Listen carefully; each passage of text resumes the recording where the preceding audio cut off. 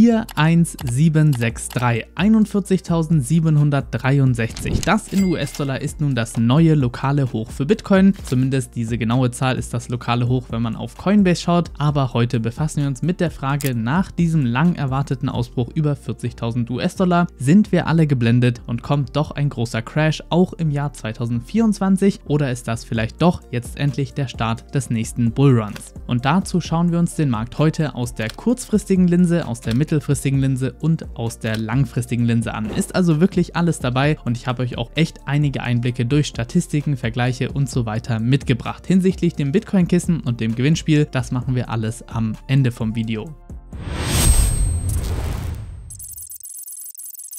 Wir starten wie immer mit dem Bitcoin-Chart selbst und es wird bis zum Upload sicherlich schon etwas anders aussehen. Wahrscheinlich sind wir dann sogar noch etwas höher. Aber das Wichtigste, wir haben jetzt erstmal und auch mit einer echt ordentlichen grünen Kerze den Ausbruch über die 40.000 US-Dollar-Marke gesehen. Ein neues lokales Hoch bei fast 42.000 US-Dollar erreicht. Möglicherweise haben wir dieses Level jetzt auch schon angetestet, denn das ist auch wirklich unser nächster wichtiger Widerstand. Und bevor wir direkt zu meiner persönlichen kurzfristigen Einschätzung kommen, ganz kurz erstmal ein Überblick allgemein darüber, was dieses Jahr für Bitcoin und Krypto passiert ist. Ich habe das heute Morgen auch schon auf Twitter gepostet, beziehungsweise auf X, keine Ahnung, ich kann mich an den Namen irgendwie einfach immer noch nicht richtig gewöhnen. Sagen wir einfach auf Elon Musks Social Media Plattform und das ist alles basierend auf diesen 41.763 Dollar pro BTC. Allein im Jahr 2023 ist der Bitcoin-Preis um 153% gestiegen, wodurch BTC nun wieder eine Marktkapitalisierung von mehr als 800 Milliarden Dollar hat. Seit seinem Tiefststand Rückstand von nur einem Jahr ist Bitcoin offiziell um 168% gestiegen und der gesamte Kryptomarkt hat im letzten Jahr eine Marktkapitalisierung von 770 Milliarden Dollar hinzugefügt. Mit dieser plus 800 Milliarden US-Dollar Marktkapitalisierung ist Bitcoin auch endlich wieder ein Top 10 Asset weltweit, hatte Tesla überholt, jetzt auch Berkshire Hathaway, etwas das Warren Buffett sicherlich hat nicht kommen sehen und ja, Mr. Zuckerberg von Meta wird sicherlich auch bald dran glauben müssen. Auf jeden Fall ein völlig anderes anderes Bild wie 2022, wo Bitcoin nicht mal mehr in den Top 20 war. Hier ein Screenshot der gleichen Webseite vom 9. November 2022. Und diejenigen, die dieses gesamte Jahr im Kryptomarkt auch wirklich miterlebt haben, können bestätigen, das Sentiment von November 2022 ist absolut anders, eine komplett andere Welt wie das Sentiment jetzt im Jahr 2023 Richtung Ende.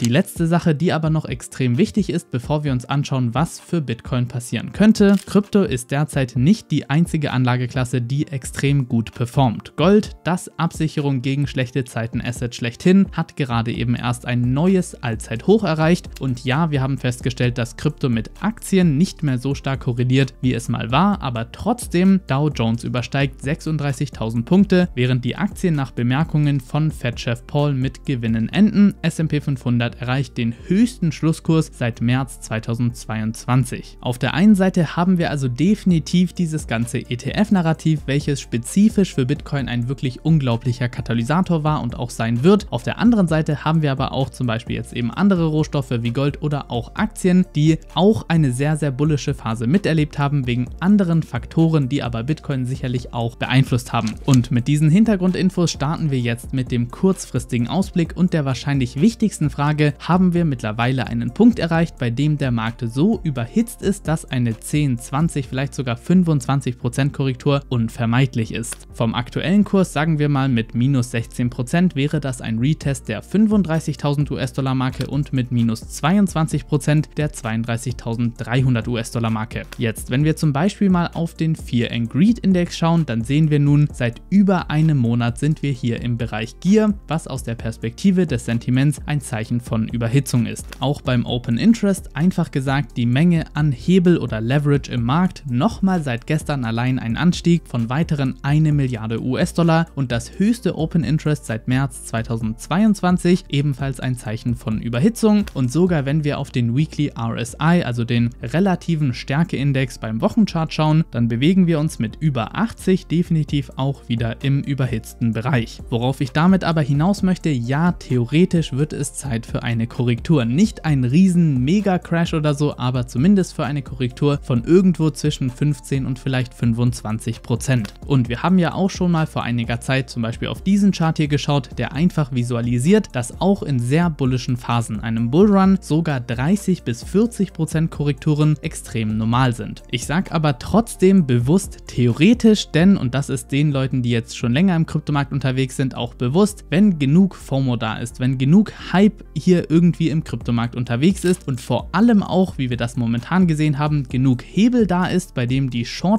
Short-Positionen immer wieder liquidiert werden und uns dadurch sogar noch weiter nach oben treiben, was wir auch zum Beispiel gestern gesehen haben, dann kann der Markt noch viel, viel, viel weiter überhitzen, bevor wir diesen Flush, diese Korrektur bzw. diesen Reset überhaupt bekommen. Zum Beispiel waren wir hier zwischen November 2020 und Januar 2021 für drei Monate lang am Stück im Extreme Greed, also extrem hohen Gierbereich, eben auf dem Fear and Greed Index. Wir hatten in dieser Ende 2020 Bullrun Phase einen absolut verrückten Anstieg des Open Interests, bevor wir dann mal Monate später endlich erst die Korrektur hatten und auch beim wöchentlichen RSI hatten wir in dieser Zeit, aber auch in anderen Zeiten zum Teil Monate, wo dieser Index eben über 80 in diesem roten Bereich war, wo wir aktuell wieder eingetreten sind. Fazit, ja, eine Korrektur wird immer und immer wahrscheinlicher, aber es kann aufgrund der Antizipation für den ETF bis zum ETF immer noch sein, dass wir einfach immer weiter steigende Preise sehen mit maximal, keine Ahnung, 10% Korrekturen oder so.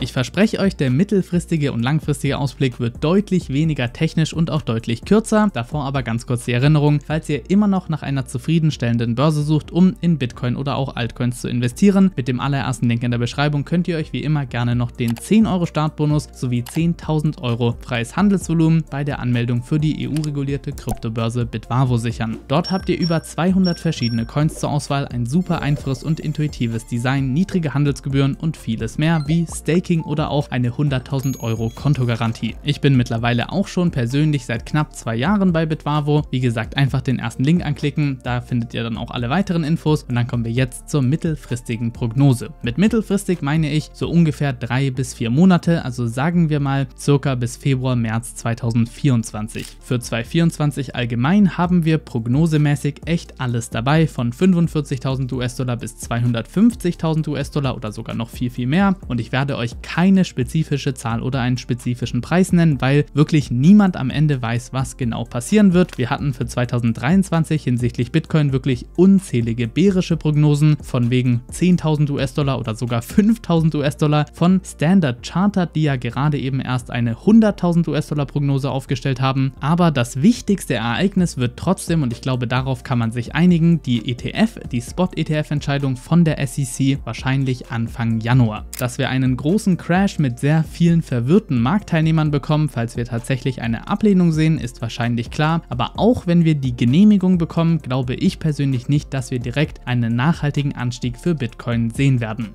Klar, ein unmittelbarer Anstieg von 10, 20, 20, 30 oder sogar noch mehr Prozent wird wahrscheinlich unvermeidbar sein, aber, und das hatte ich auch schon in einem Video mal erklärt gehabt, weil es oder aufgrund der Tatsache, dass wir zwischen den, der ersten Genehmigung, wo der ganze Hype da sein wird, und dem tatsächlichen Handelsstart der ETFs 3, 4, 5, 6, vielleicht sogar 7 Wochen haben, in denen erstmal nicht so viel passiert, denke ich, dass wir in dieser Zeit diese ganzen Gewinne und sogar vielleicht noch mehr rückgängig machen. Also ein Buy the Hype, Sell the News Event. Und dann darüber hinaus die nächsten ein, zwei Monate hängt es es einfach extrem stark davon ab, wie viel Spot-Nachfrage tatsächlich diese ETFs generieren können. Und ich kann schon mal sagen, die Erwartung ist auf jeden Fall, dass wir extrem viel Nachfrage bekommen. Und daher glaube ich, dass sogar wenn wir ganz ordentlich Nachfrage bekommen, nur nicht das, was vielleicht manche erwarten, wir trotzdem fallende Preise sehen könnten. Die Erwartungen sind nämlich definitiv hoch. Hier haben wir zum Beispiel oft auch den Vergleich mit dem Start des ersten Gold-ETFs, wo wir danach wirklich astronomische Anstiege und auch für eine lange Zeit gesehen haben. Lang langfristig gesehen, also jetzt wirklich auf die nächsten fünf bis zehn Jahre, würde ich sagen, kommt es echt darauf an, wen man fragt. Wenn man mich fragen müsste, dann würde ich sagen, es wird definitiv weiterhin viele lange bärische und lange bullische Phasen geben. Vielleicht nicht direkt im Vierjahreszyklus, aber das wird es auf jeden Fall geben. Wobei von der regulatorischen Klarheit über Sachen wie zum Beispiel die Adoption jetzt auch wirklich auf Landesebene und Regierungsebene bis hin zu Sachen wie dem Mining, der Hashrate, auch dem Halving zum Beispiel, welches jetzt aufkommt, geht alles wirklich in die richtige Richtung. Und dann noch das Gewinnspiel. Der erste Gewinner des ersten Bitcoin-Kissens ist Martin. Ich habe dir auch schon geschrieben. Alle anderen, die mitgemacht haben, ihr bleibt in diesem Pool der ganzen Direktnachrichten, aus dem ich dann immer wieder einen Gewinner auslosen werde. Und für alle, die mir noch nicht geschrieben haben oder auch gar nicht wissen, was genau abgeht, für jedes Video, welches ich im Dezember bis zum 24. uploade, verlose ich eines dieser Bitcoin-Kissen, mein eigenes erstes Produkt, welches ich jetzt gelauncht habe. Und dafür müsst ihr mir einfach nur auf meinem privaten Instagram-Account folgen, der Link ist in der Beschreibung, und mir dort eine Direktnachricht zukommen lassen. Für alle, die gar nicht warten können, das Kissen gibt es jetzt auch in einer sehr limitierten Anzahl schon auf Amazon zu kaufen, Link ebenfalls in der Beschreibung. Und damit hoffe ich, euch hat das Video gefallen. Lasst gerne noch ein Abo da, um mich und diesen Kanal zu unterstützen. Und dann sehen wir uns beim nächsten Mal wieder.